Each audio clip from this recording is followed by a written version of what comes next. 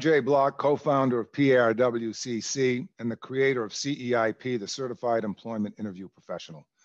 The centerpiece of CEIP is the organizational message chart that empowers job seeker confidence and rapid success.